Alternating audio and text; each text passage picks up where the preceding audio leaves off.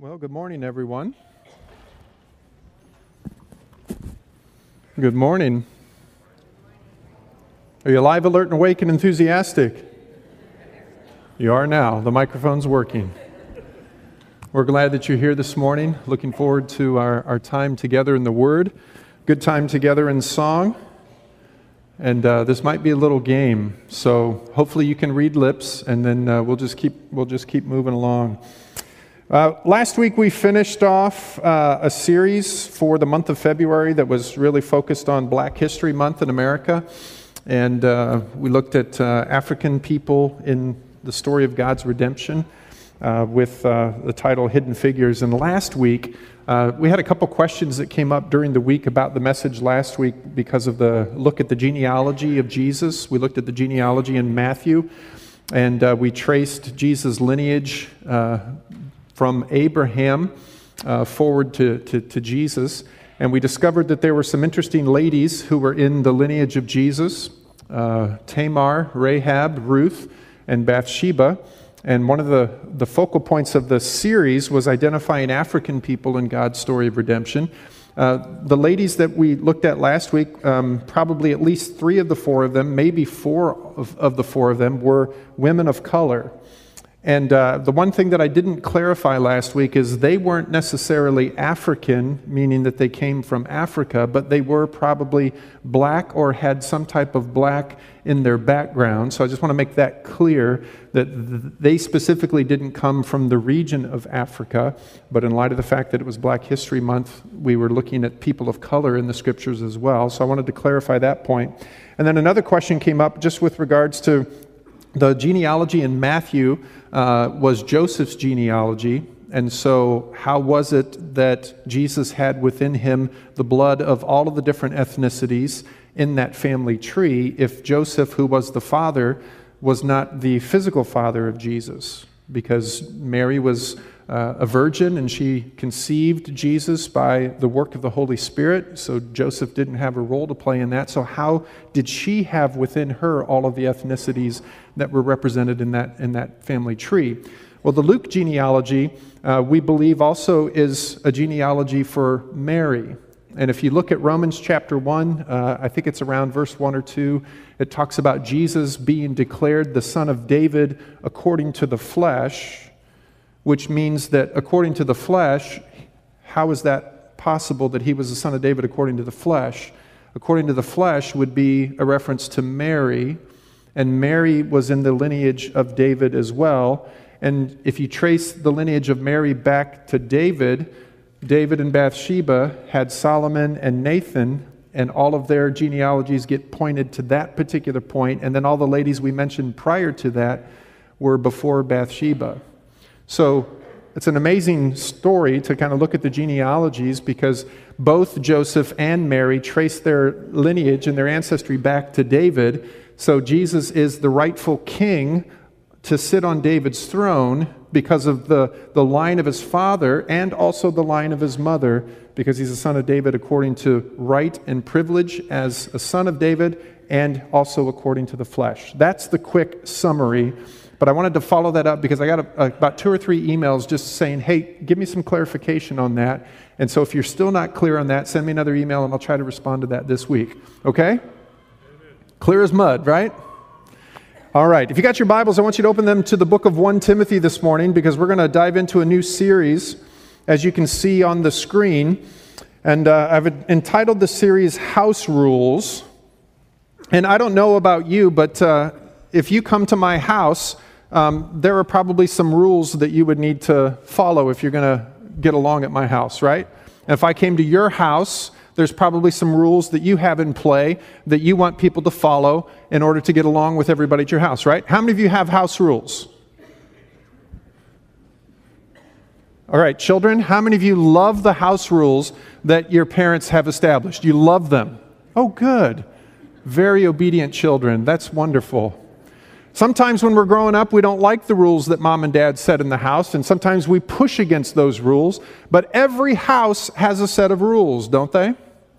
I found a couple signs that I thought were very interesting as we think about this because there are a number of places who have house rules and then there's kitchen rules. If you use it, wash it. If you take it out, put it away. If you turn it on, turn it off. If you spill it, wipe it. If you break it, fix it. If you make a mess, tidy it up. There's an amen. God is working amongst us this morning, right? Then I found this one that I thought was very interesting. Two rules in the house. Rule number one the wife is always right. Rule number two if the wife is wrong, please refer to rule number one. And all of God's women said, Amen. And all of God's men said, Help. All right. It's interesting. When we were uh, in South Africa, one of the things that uh, we did for a particular church that we were working in is we had a special day that was in the bulletin. You know, you look at the bulletin and you see all the events that are coming up. In the bulletin, it says, um, Join us for the Damn Day. And of course, if I say that to you, damn day, you're like, what does that mean? Is the pastor swearing in church? Nope. The dam was a, a, place like a reservoir, right, where the water's dammed up, and they called it the dam. And so we were going to go to the dam and have a fellowship. And I might have shared this story with you before. You might, you might remember this. And if I, if I have, I apologize. If I haven't, you're going to love it, okay? So we go to this dam day, all right? And, and that's how we advertised it in the bulletin. And uh, the, our kids, with the other kids of the church, are out in the reservoir and they're swimming around and they're getting a little bit too close to the area where the boats are just kind of driving by. And there were rules that were specifically to this area. And they, one of those rules was don't get beyond this particular point because the children and, and whoever else would be swimming out there would be in danger, right?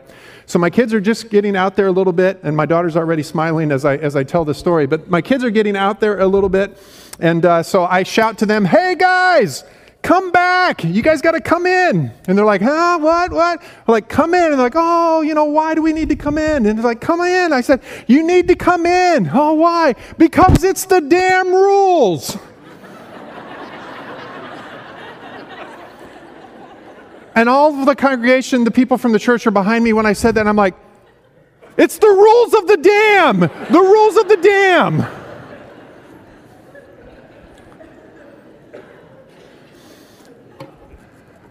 Every place has rules, don't they? They have rules to follow so that they're designed for your safety and for your enjoyment and for your pleasure and everything like that. But uh, did you know that in God's house, He has rules as well? And you might be sitting there thinking, well, preacher, wait, on, wait a second. We're talking New Testament. The Old Testament was all about rules. The New Testament doesn't have any rules. Oh, really?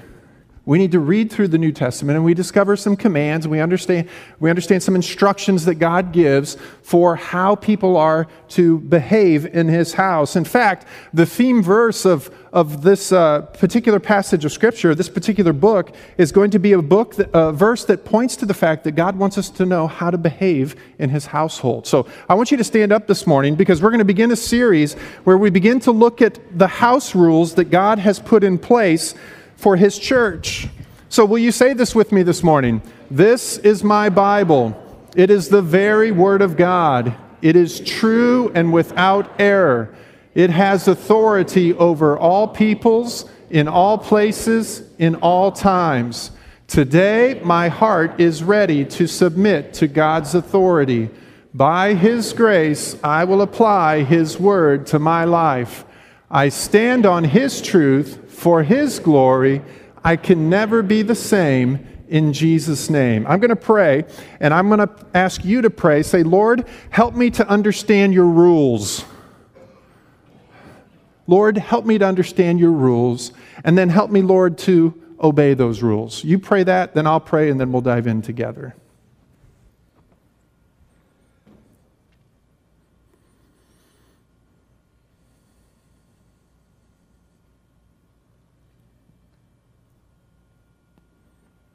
Father, I do pray that you would open our hearts and our minds this morning as we open up your word. Father, we cannot understand your word unless you open our eyes to its truth. You've placed within us the anointing of the Holy Spirit so that we can understand truth that comes from you. And so I pray this morning that the Spirit would do his work at helping us to understand what your word says. And Father, more importantly than understanding it is that we would also apply it and put it into practice into our lives. So, Lord, help us to see what your rules are for your house.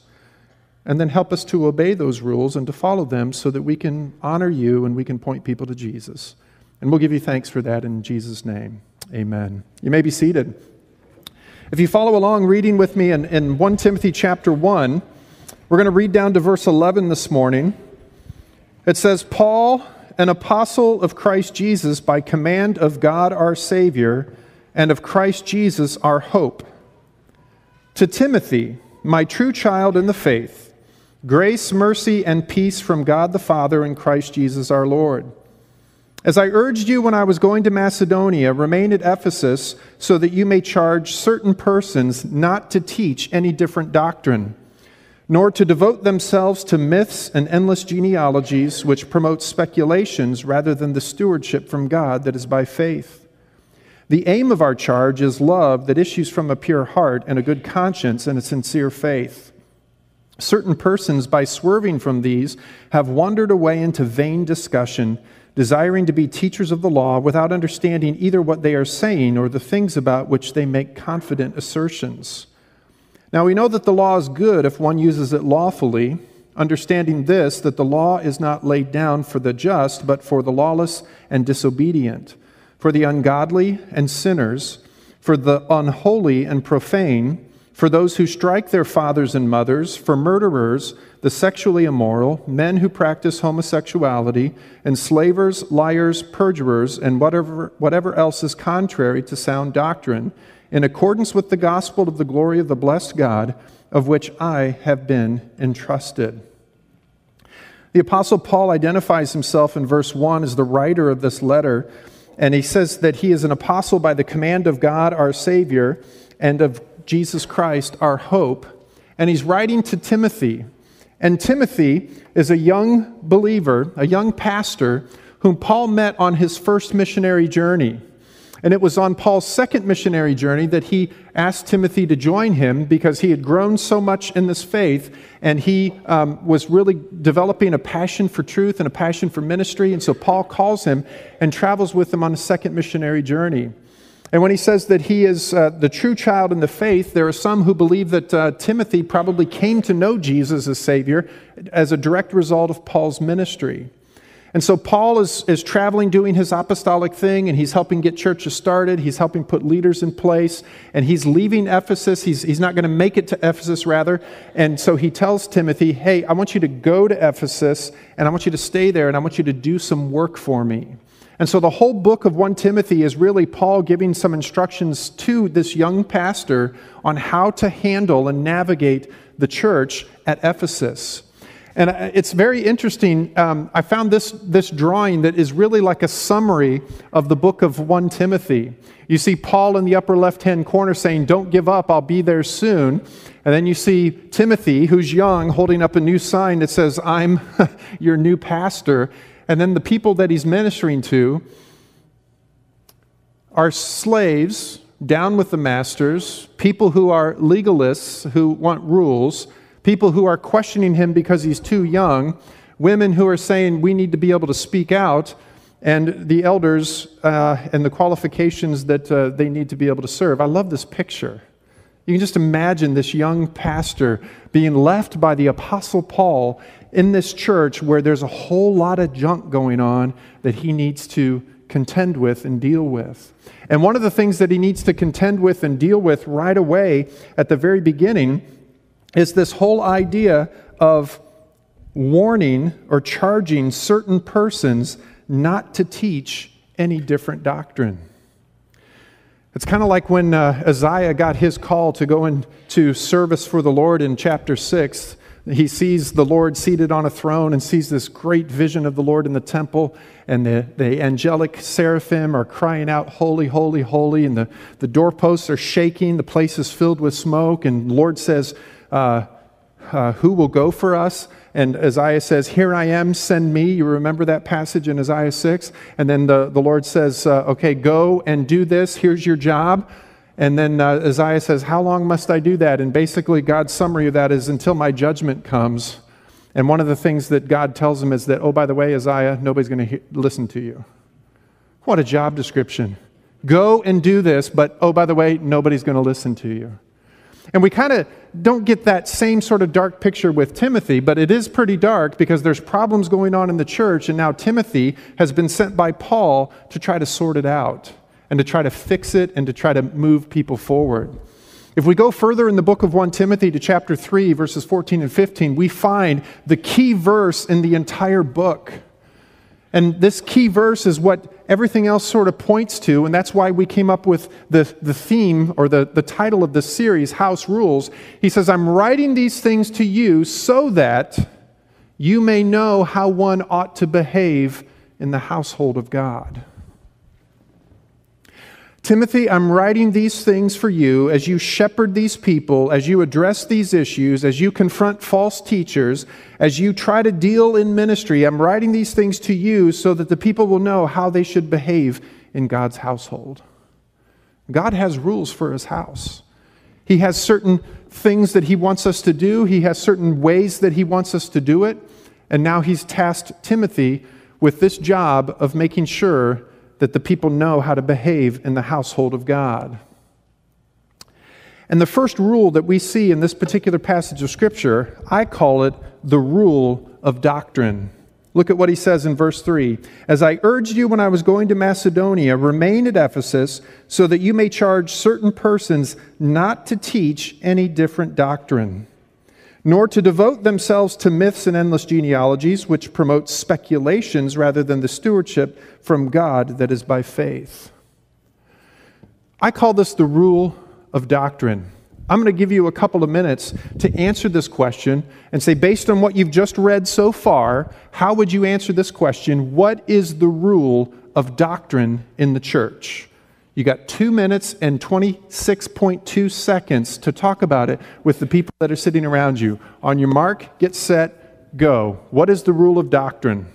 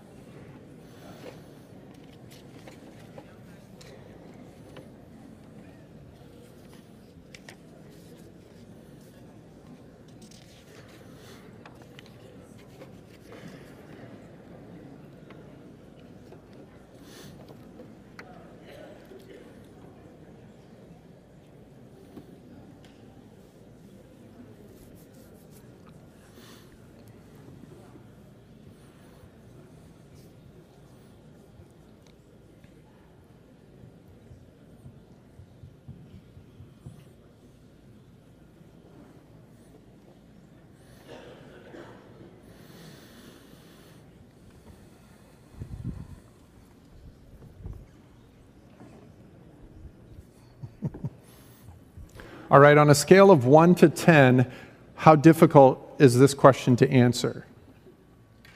1 being easy, 10 being hard. 1, it's easy.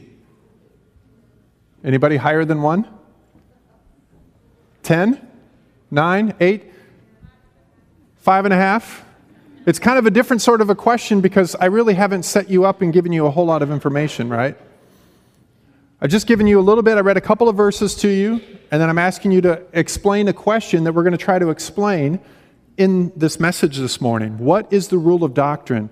We're going to answer that question as we go, and then we're going to come to a, a summary statement at the end that's going to give, hopefully, a, a clear statement of how we answer that question. But rule number one in the house of God is the rule of doctrine. And we see this as Paul tells Timothy, he tells him, command false teachers to stop. He says, I urged you, remain at Ephesus so that you may charge certain persons not to teach any different doctrine. Paul is very big on doctrine. In fact, the verses that you see at the bottom of the screen are all verses in this letter to Timothy where he addresses the idea of doctrine. Now, how many of you, when you hear the word doctrine, you get excited? Okay, a couple people. How many of you, when you hear the word doctrine, you're like, wow, wow. How many of you are like, eh, when you hear the word doctrine? How many of you are awake this morning? I preached my first message when I was about 15 years old. Our youth group at our church, our, the, the youth pastor that was there at the time, he became my senior pastor and uh, the pastor of our sending church when we went to the mission field. But I preached my first sermon when I was 15. From the time that I was saved and until probably the, even the time that I first came to Christ, and I only came to Christ about a year and a half maybe before that. And ever since then, I've been very passionate about doctrine. I grew up listening to John MacArthur, uh, watching him on TV, and uh, I've read a number of books. My pastor, every time I graduated from high school or I graduated from college or there was a special sort of function in my life, he would always give me a book that would be good to use if I were a pastor one day. And I love doctrine. I, I, I love explaining doctrine. I love reading about doctrine. I love learning doctrine. But doctrine is a fearful word in our culture today. But do you know what the word doctrine means? It means teaching. So, Paul is giving Timothy an instruction to tell people in his church to stop teaching different teaching, to stop teaching different doctrine, doctrine that didn't conform to what the apostles were unveiling to people doctrine that contradicted the gospel of Jesus Christ, doctrine that he goes on to describe later in one of the chapters. I think it's in chapter 4, where he talks about sound doctrine. He says, I want you to teach sound doctrine. And the word sound is a word that we get our English word hygiene from. It means healthy doctrine. He says, I want you to be focused on healthy doctrine, doctrine that conforms to what the apostles have rolled out, what God's word has rolled out, and stop the people in your church who are teaching doctrine that is different from that. That's a pretty big task for a young pastor who comes into a church where there were probably people who were significantly older than him who were in positions of teaching. And yet, Paul tells him, get in there and tell them, stop it because they're teaching doctrine that is very, very different. Now, on a scale of 1 to 10, you don't need to answer this question out loud, but how important is doctrine to you? And you might say, well, Pastor, there are certain doctrines that, uh, man, they're just essential core doctrines. And then there's other doctrines, we call those primary doctrines. And then there's other doctrines that are like secondary doctrines. And maybe there are some that are maybe even um, thirdary doctrines. All right? Just want to check and see if you're still awake, all right? The primary doctrines we'd say we'd take a bullet in the head for. They're non negotiable about the Christian faith. If somebody put a gun in our face and said, deny these doctrines, we would say, pull the trigger. But there are other doctrines we would say, if he put a gun to our face, say, well, we can negotiate this one. We can negotiate this one. There's a little bit of grace there, maybe. But there are some doctrines that are so essential to the faith that if you don't affirm these doctrines, you can't call yourself a, a, Christian because they're so integral to the faith. And Paul was concerned about this false teaching that was rising up within the church that he sends Timothy and he says, hey, stay there and take care of this. Now, we don't have false teaching in the churches of Jesus Christ today, do we? We don't. I mean, we're, we're perfect this side of the New Testament, right? We got everything sorted out, everything figured out.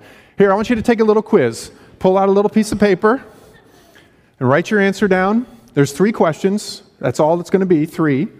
And you're going to say whether or not you agree or disagree. You can say yes, or you can say true, or you can say no, or you can say false. Are you ready? And if you want to just do it mentally, do it mentally, okay? You don't need the, the pressure of writing it down. It's like, I can't, I can't write it. I just need to think about it. Just relax. Just Take the quiz, okay? Here we go. Question number one Do you believe Jesus is the first? Don't answer it out loud either. Do you believe Jesus is the first and greatest being created by God? Yes, you agree. No, you disagree. True or false? Ready to move on? Question number two The Holy Spirit is a force, not a personal being. Yes, you believe it. No, you don't believe it. True statement, false statement. Ready to move on? Last one, question number three. People have the ability to turn to God on their own initiative. Yes, you believe it. No, you don't believe it. True statement, false statement. You got all the answers tucked away in your head or on your piece of paper? What's the correct answer for these? question number one Jesus is the first greatest being created by God. Did you know 52% of Americans agree with this statement and 67% of churchgoers agree with this statement? This is false. It's called the Arian heresy. John chapter 1, verses 1 and 2 In the beginning was the Word, and the Word was God, or the Word was with God, and the Word was God. He was with God in the beginning. That's a reference to who? Jesus. Colossians says that everything was made by him and for him. Jesus is equal with God, he is not created by God. And yet, a survey that Lifeway Research did said 67% of churchgoers say he was the first and greatest being created by God. Question number two the Holy Spirit is a force, not a personal being. 56% of Americans agree with that. 63% of churchgoers agree with that. Use the force. Oh, no.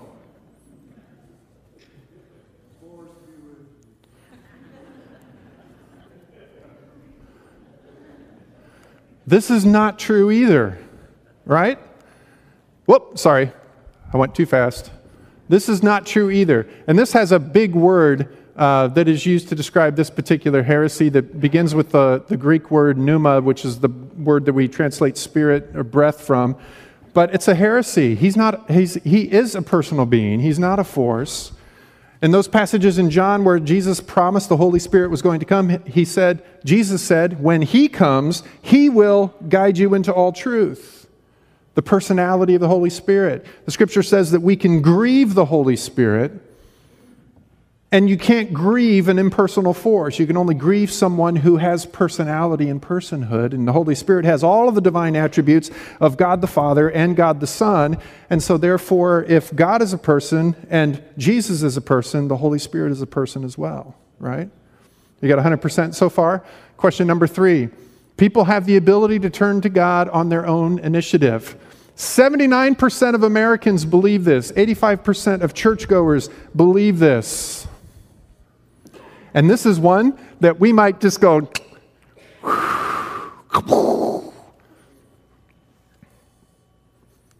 it's not true. Ephesians chapter 2 verse 1 says we are dead in our transgressions and sins. Verse 4 and 5 talks about the fact but God made us alive in Christ. And Jesus said, No one can come to me unless the Father draws them. I don't have the ability to choose God on my own because I'm broken and I'm depraved and I'm fallen.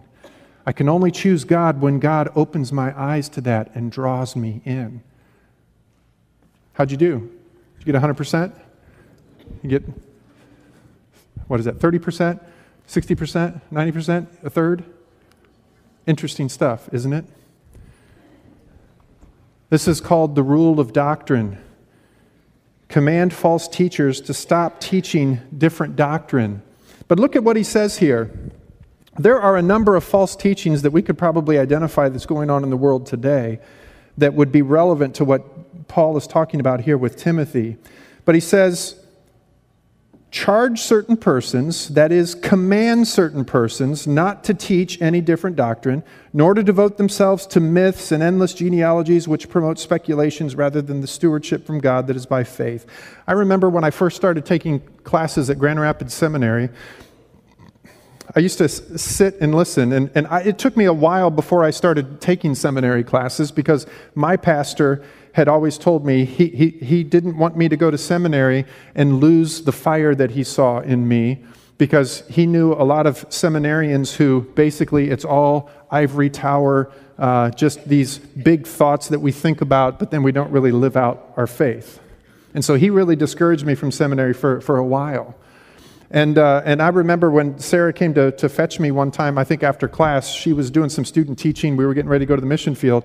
You know, she came in and she was waiting for me, and she heard these guys talking about something, some theological truth. But the, the, the conversation that was going on, it was just like this endless conversation that didn't lead to any conclusion, nevertheless, any practical way to put it into practice. And she's like, Wow. She says, Are all of your classes like that? I said, No, they're, they're, they're, they're better than that. They're much better than that. And it's not bad to talk about theology. It's not bad to talk about doctrine. It's not bad to have healthy discussions. But the goal of doctrine is to lead to practical application where people put into practice the truth that they are wrestling with, right? If we're just teaching doctrine, but it doesn't make any connection to people's lives, then we're really wasting our time because James said we're supposed to be doers of the word, not just hearers. So Paul tells Timothy, stop these people from teaching different doctrines, but that could be a very hard job. Have you ever said to somebody to stop doing something? And how do they respond when you tell them to stop? Who are you to tell me to stop? What do you think you're doing? Yada, yada, yada, yada. Well, I got, well, you, and it can be a very difficult task. And even sometimes the way that we do it can be very, very difficult. Hey, idiot, stop what you're doing. We'll get a different response than, hey, you know what, can we sit down and talk about this? Because I don't think that's the best way to do it. Right? Two different ways to approach it, and you will get a, a much different response. And I think Paul's aware of that because he goes on to say here, not just tell them to stop it, but he goes on to say, Verse 5 The aim of our charge is love that issues from a pure heart and a good conscience and a sincere faith. So, the goal of this command that he's giving is that it would be done out of love. The Bible says that we are to speak the truth, but we're also to speak the truth how? In love. See, here's the thing that I find about God's rules even in the Old Testament and then the rules that get translated to the New Testament, God's rules flow out of the very character and the heart of who God is. In fact, the law of the Old Testament, we see the righteous standard of God established. And we see that nobody can reach that righteous standard, which was the whole point of giving the law in the first place, was to show people that they can't do it and they need a Savior. And hence, Jesus coming many years later to provide the salvation that the law pointed out that people desperately needed. He said, Love is the goal of the command. And anytime God gives us a command, anytime He gives us a rule, He has His glory at stake and our good intended with that command. And so he's not telling Timothy to go in there with guns blazing and start shooting up the place and saying, okay, stop, you stop, you stop, you stop, you stop. He said, Remember, the motivation for this command is love. Love. Love that issues from a pure heart, a good conscience, and a sincere faith. How do we do that with people? How do we lovingly tell somebody what you're teaching is wrong? What you believe about the gospel is wrong. Do you know we still have people in gospel teaching churches, Bible believing churches, that believe that you can be saved by doing good works? And some people would even say you can be saved by trusting in Jesus and doing good works. But you can't add anything to that, it's just trusting Jesus. You can't add anything to it. If you add anything to it, you haven't really trusted Jesus. We need to be careful of that because we're talking about souls are at stake here. Eternal destinations are in, hanging in the balance by the way that we present the gospel, by the way that we talk about the gospel. And if there's anybody in our church that would believe that you can get to heaven by doing good works, that's not because the pastors have been teaching that. That's a, a, a fault in our understanding of what the scripture says because at Southgate, we don't believe that. We don't believe that we get to heaven by doing good deeds. We're not going to do this little tap dance number and say, What do you think, God? Am I in? He's going to say, Depart from me. But we take all of our brokenness and all of our depravity and all of our sin and we lay it at the cross and we say, God, forgive me a sinner. And He says, Here's my righteousness. Boom, you're in. It's not because of anything that you did, it's because of what I did for you on the cross. That's what we believe at Southgate. And so love is the goal of the command. And the third thing that we see in this particular passage is that correction is the result of the command. Love is the motivation for it, but correction is the result. Look at verse 6. He says, Certain persons, by swerving from these, what are these? Well, look back at verse 5 a pure heart, a good conscience, and a sincere faith. Certain persons swerving from these have wandered away into vain discussion, desiring to be teachers of the law without understanding either what they're saying or the things about which they make confident assertions. These people are ignorant, Paul says. They don't know what they're talking about, and they're saying things with confidence. Oh, that's how the false teachers operate. You turn on uh, any sort of broadcast uh, gospel based programming, and you can identify very quickly who the the true teachers are and who the false teachers are. And it's hard sometimes because the false teachers, man, they communicate very well and very dynamically and very powerfully. And a lot of people follow them. But it's not through these persuasive words that determine truth. It's not because they're excellent speakers that determines the validity of what they say. What determines the validity of what they say is how much of what they say conforms to what God has revealed in His Word. And there are people who are sharks out there who are trying to lead people astray. And Paul said that was happening in the church at Ephesus. Not on TV. Now, obviously, they didn't have TV back then, but not in social media, but in the church that was located at Ephesus. And Paul says, Tell them to stop it.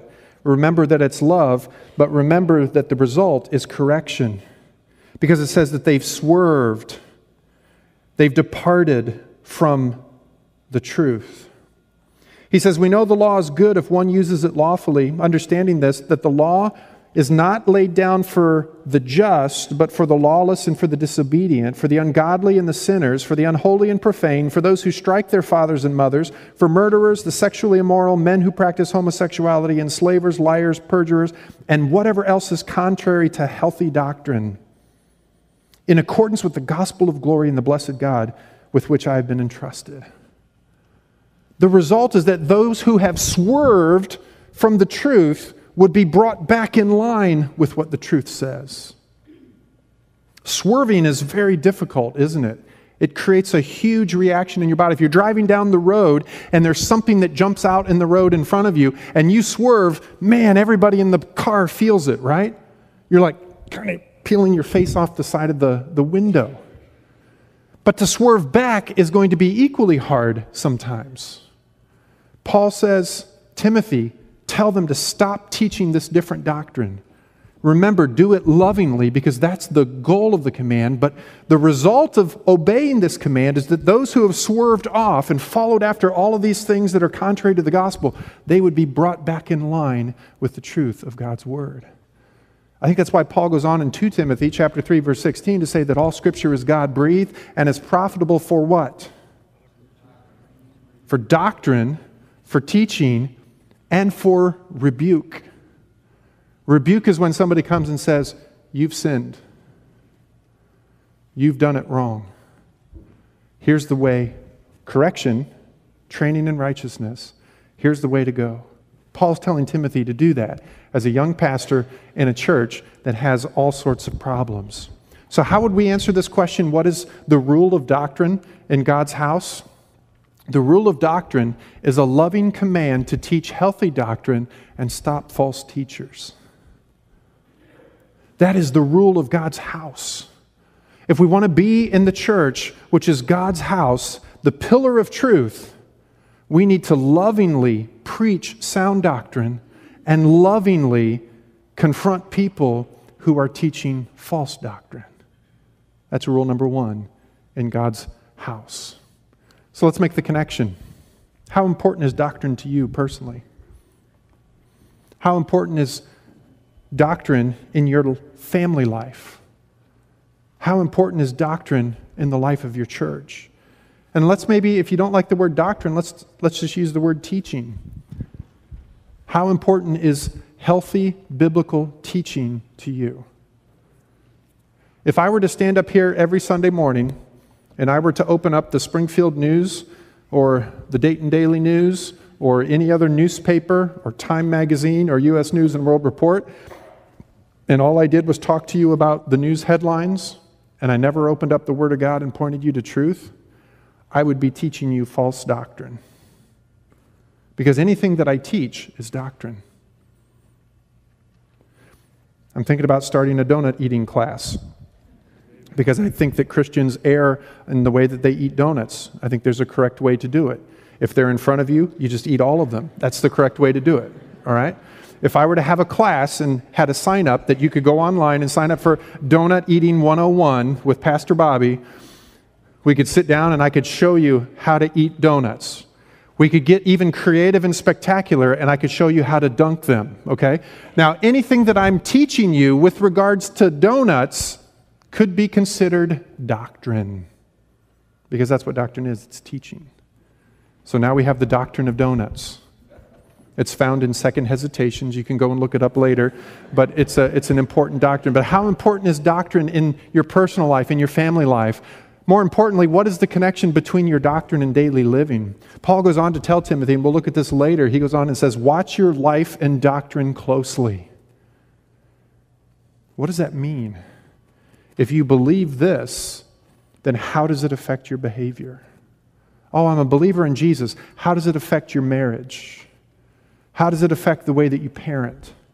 How does it affect the way that you serve at work? How does it affect the way you serve in the body? How does it affect every aspect of your life? Doctrine, the teaching of the scriptures, should affect us in the way that we behave. Last question How closely do you watch your life and doctrine? Oh, I know a lot of Christians who are guilty of just slipping, we call it. Oh, Lord, I'm, I'm slipping. Oh, preacher, I'm slipping.